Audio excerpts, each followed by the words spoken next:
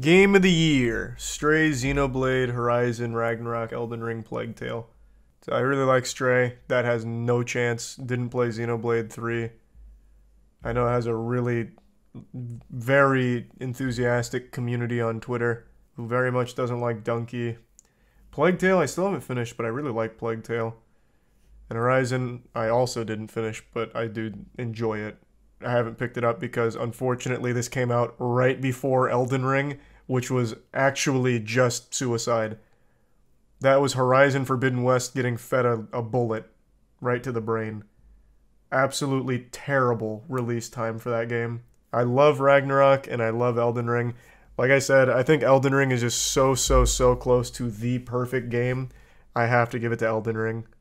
I think God of War overall is like a cleaner experience though overall and just a genuine masterpiece, but I'm going Elden Ring for this. Elden Ring is just the culmination of everything they learned from all of the Souls games put into one amazing package.